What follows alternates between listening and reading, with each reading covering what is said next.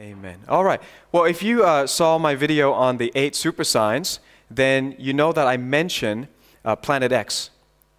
But we didn't talk much about it, so we're going to take a couple of sessions to talk about Planet X. You may have heard of it, you may not have heard of it, doesn't matter because today will be uh, an introduction to the search for Planet X. I'm going to cover a lot of biblical events uh, without going into any explanation or details.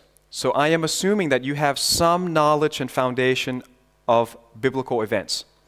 If you don't, you can catch up using the uh, curriculum that we've taught in our church twice now, the 4,000 years of history, and it takes you from uh, creation to Christ in 12 hours.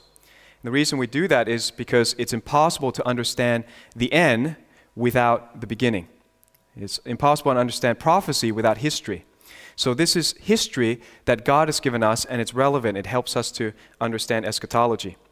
Okay, why should Christians care about Planet X? Going to give you an introduction to the planets for those who don't know astronomy. Then, we're going to give you an introduction to miracles to those who don't know theology. Then, we're going to combine the two to understand biblical, what I call biblical astronomy, or scientific miracles. Does that sound fun and interesting? I hope so. I hope you'll be uh, paying attention the whole time because it will all come together at the end. This is one of those messages where you really need to see the pieces come together. So stick with it. This is not one of those videos you want to watch for just like five, ten minutes. You want to just pay attention the whole way. All right, let's go uh, to the planets. There are six planets that are visible to the naked eye.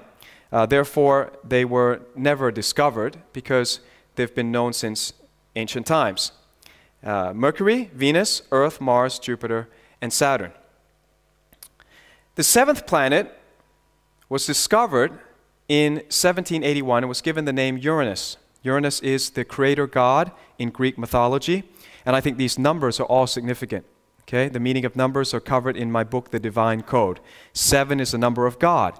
And the first planet to be discovered was the seventh planet. It's like the fingerprint of God there that He wants to be discovered. He's made things to be discovered, including Himself. He's not trying to make it difficult. But Uranus was discovered in 1781, and scientists found something strange. Uranus was not uh, behaving according to their mathematical models or their expectations. Uh, it was perturbed. So, a scientific term I want to teach you is per, uh, perturbation, which means the complex motion of a body subject to forces other than the gravitational attraction of a single other massive body. In other words, the motion is not simple, it's complex. Therefore, it hints at other forces tugging at it. What would you do if you didn't understand the behavior of a planet?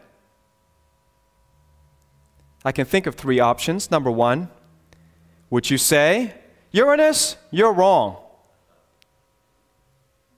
Or you could say, our model based on Newton's law of gravitation is wrong. Our assumption is wrong, which may be true because now people are uh, opening up to the idea that the strong force in the universe is not gravitation. We've always known that but uh, the electromagnetic force is much stronger, and so we live, probably we live in an electric universe, not a gravitational universe. So maybe the model is wrong. Or we say, third option, the model is right. Newton's law of gravitation is basically right, and this suggests the mass of an unseen planet. And so the eighth planet, Neptune, was discovered in 1846 because scientists took the third option. Neptune's discovery was a vindication of Newton's law of gravitation, although it doesn't explain everything. And sometimes I wish people would treat the Bible with the same wisdom that we do the planets. What do I mean by that? The Bible is something to be discovered, it's something to be mined. It's not something that you read once and you can just say, you know what, I basically know the Bible. For instance, what would you do if you didn't understand a verse in the Bible? Would you say, Bible, you're wrong? A lot of people say that. Or you could say, my understanding of the Bible must be wrong. Or, third option, there is another verse waiting to be discovered, tugging on this verse. Give you an example. In Luke chapter 14, verse 26, Jesus said, If anyone comes to me and does not hate his father and mother, wife and children, brothers and sisters, yes, and his own life also, he cannot be my disciple. And a lot of people read that and they feel perturbed. They think, well, what's wrong with this? Is God teaching Christians to hate their parents? Well, what do you need to do? Instead of accusing the Bible is wrong, you say, I need to put this in the context of other verses. For instance, Jesus said in Matthew chapter 10 verse 37, "He who loves father or mother more than me is not worthy of me, and he who loves son or daughter more than me is not worthy of me." So the word hate obviously has to be put into that context. It just simply means to love someone more than. You go to John chapter 19, verse 26 to 27, you find the heart of Jesus. What was he like? Was he a mother hater? Did he uh, dislike his parents? Of course not. When he was suffering excruciating pain on the cross, he didn't think about himself like most of us would. Look at what Jesus said. When Jesus therefore saw his mother and the disciple whom he loved standing by, he said to his mother, Woman, here's your son. In modern English, here's your son. Then he said to this, the disciple, There's your mother. And from that hour, that disciple took her to his home. So John basically adopted Mary as his mother and took care of her until the end of her life. So, what was Jesus really saying in the first verse that we read? Simply put, God must be number one. See, some people use their love for family as an excuse to not come to church. Don't do that, Jesus is saying. Some people are willing to give money to their parents or to their children, but not to missions or God's work. And Jesus is saying, put God first, and then you can still do the rest. Amen? But God deserves to be number one. Can you say amen? amen? Good. All right, so Neptune's orbit, once they discovered Neptune, also had perturbation, which led to the search for the ninth planet. There it is. The ninth planet, Pluto, was discovered in 1930. However, as you all would have heard back in 2006, Pluto was demoted, too small, and now we call Pluto not a planet, but a dwarf planet. So there remains uh, eight planets. This is what our current model of the solar system looks like eight planets, and then five dwarf planets named Ceres, Pluto, Makemake, Haumea, and Eris, which is the farthest but the biggest one. Okay, so if you didn't know that that's where we live, this is our home. We live in the solar system, and this is what it looks like to us currently. Happy? Didn't lose anyone? Good, all right. So then the search continues. Based on real hardcore science, we have found some planets out there and planetoids, dwarf planets, but we haven't accounted for what is perturbing Uranus and Neptune. So we sent out Pioneer 10 on the 3rd of March 1972, I believe to find out this extra body. They say the mission was to study the outer solar system. Unfortunately, we lost contact with Pioneer 10 on the 23rd of January 2003, so it's gone. Battery's out. We then sent Voyager 1 on the 5th of September 1977, and it actually entered interstellar space on the 25th of August 2012. So we've got something, the farthest thing out there uh, made by man is Voyager 1. Interestingly, that this time when we sent it, we sent it with a golden record to communicate with aliens. So for those of you who don't believe that NASA and these guys have an alien agenda, you got to ask yourself why did they send a record made of pure gold with a message for extraterrestrial life? And they did it again with Voyager 2, which was sent a few days earlier on the 22nd of August 1977. It was sent before, but it's called Voyager 2. Why is that? Because they knew it would move slower. So Voyager 1 has overtaken Voyager 2. Now, slow, by the way, how slow is slow? Voyager 2 is traveling very slow at 15 kilometers every second. Think about that. It's mind boggling. Voyager 1 is traveling at over 17 kilometers per second. So every time I go like this, it's just gone another 17 kilometers. And it also carries a second golden record to communicate with aliens. Hmm. We're not making this stuff up. So Voyagers 1 and 2 are out there in this traje trajectory.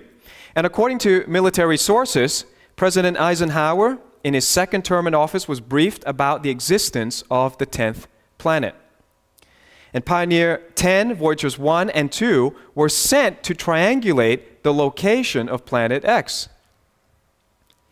This is not something that we are uh, we alone are aware of.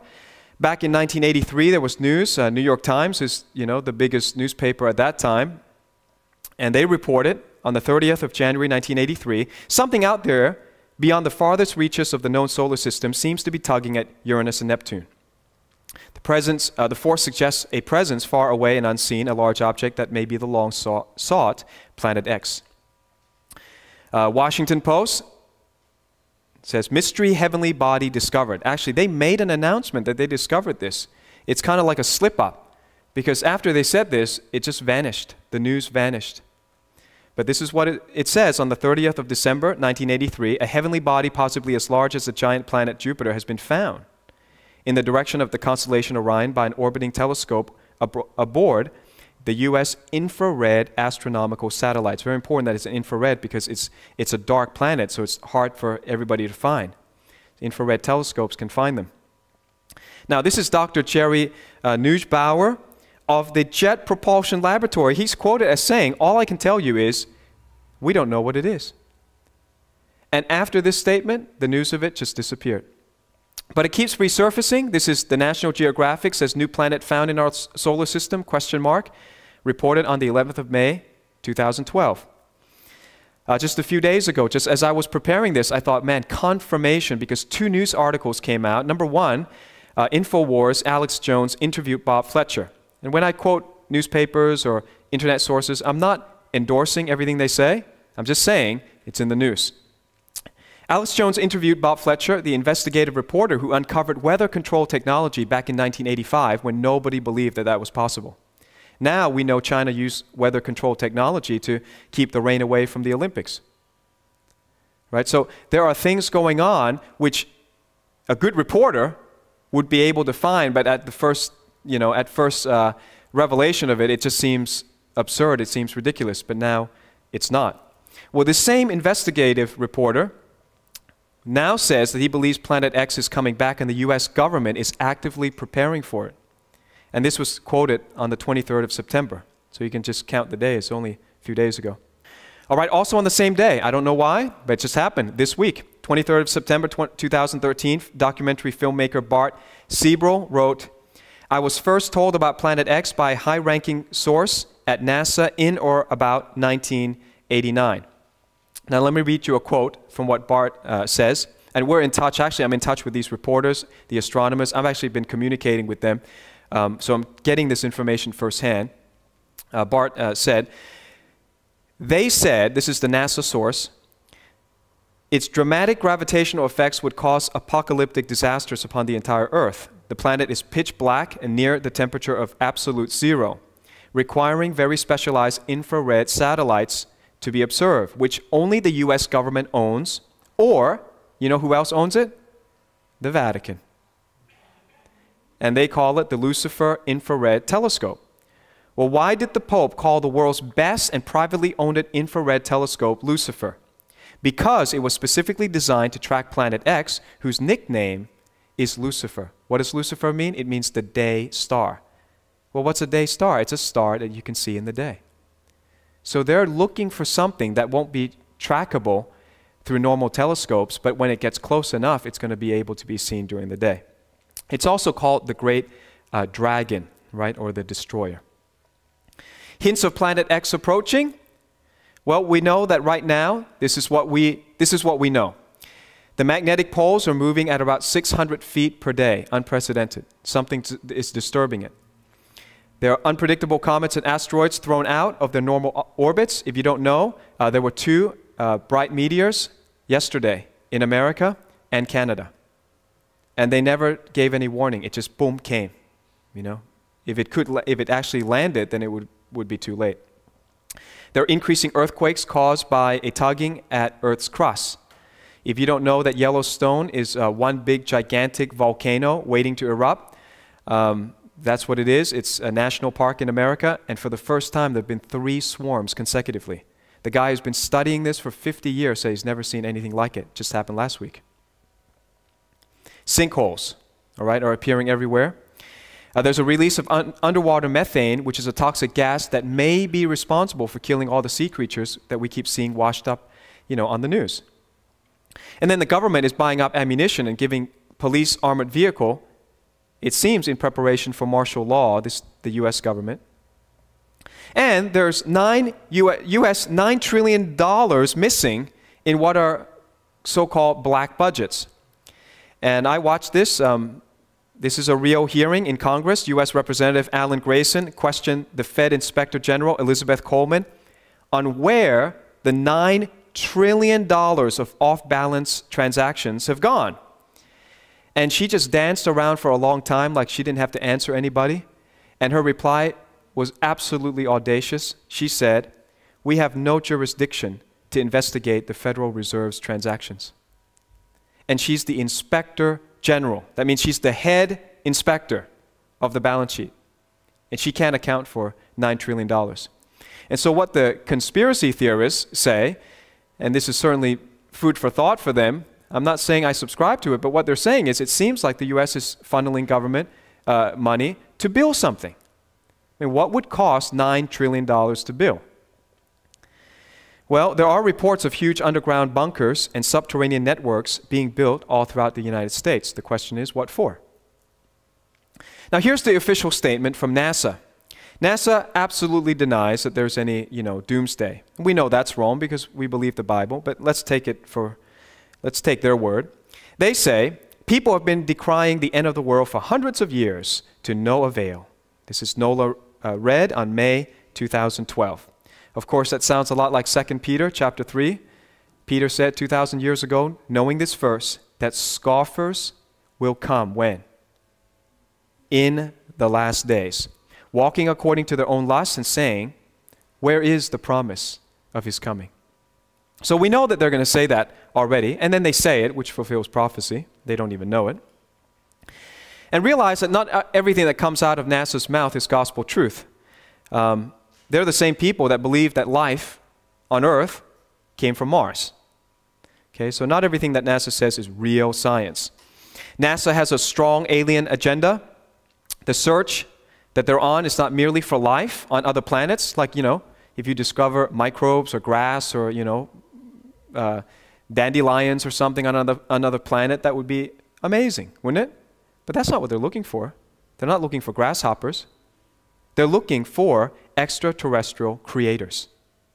So millions of dollars are spent in vain on what's called astrobiology to convince people that God did not create us. Be aware, beware of the expert fallacy such things as global warming. What is expert fallacy? Well, it could mean two things. Number one, assuming someone is an expert who's not, such as a celebrity or a politician. And here, Al Gore, who has no scientific background, claims to be an expert on global warming. Number two, the expert fallacy means assuming experts are never biased or dishonest. If you think about it, in science, the experts are often motivated by funding. Therefore, experts have more to lose, far more to lose, than amateurs by adopting unorthodox views. In fact, unorthodox views are usually considered competition to them. And so they, as peers, would review out any competitive ideas from uh, the science. So, you know, global warming, I've been saying for a long time, don't believe it. God, didn't, God, God didn't make the earth to be destroyed by man. Man is not that big to destroy it.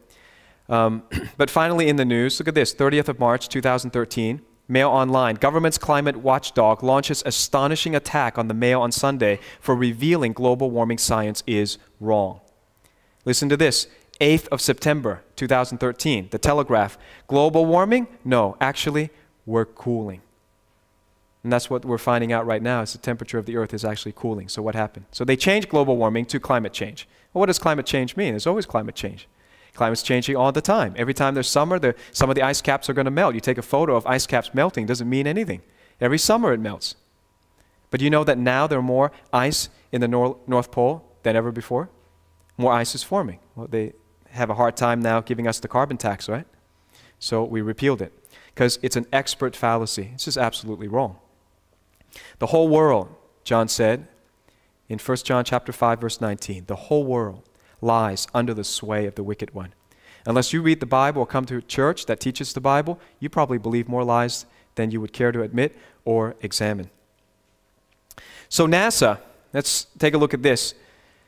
NASA definitely denies that anything is coming, and, you know, they don't believe in a doomsday. And by doomsday, by the way, I'm not trying to scare you. The earth is not going to be destroyed. Jesus is just going to come back and get rid of sinners. That's a good thing. All right, so evil will end on the earth, but the earth will always continue forever and ever. And we who believe in Jesus will continue with him. Amen? But today, there are thousands of amateur astronomers and privately funded astronomers who can surpass NASA.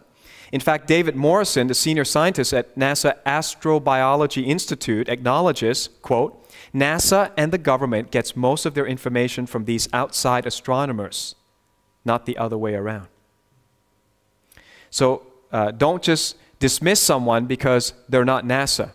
Did you know that mus- a musician discovered, an amateur astronomer, a musician, discovered Uranus in 1781?